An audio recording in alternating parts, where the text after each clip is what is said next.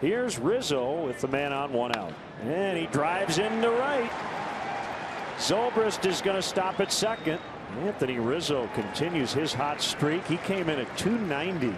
He started June at 236. Driven to deep right. And Frazier misjudged it. It's over his head. Bryant to third.